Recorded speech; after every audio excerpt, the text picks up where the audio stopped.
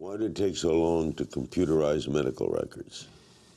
It, it has taken so long because we are in this archaic, um, disparate system of building medical bridges to nowhere. So unfortunately, when the medical records were built, it was built on Medicare to actually pay a bill. It wasn't built to actually bring wisdom to a doctor.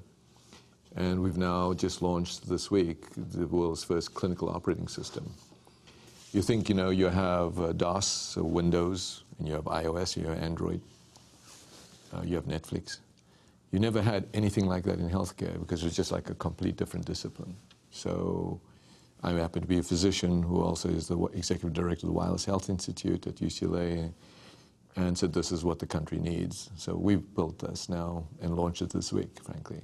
The, the world's first clinical operating system that actually link any medical record anywhere. Watch new episodes of Larry King Now, Monday through Thursday, on demand on Hulu and Ora.tv.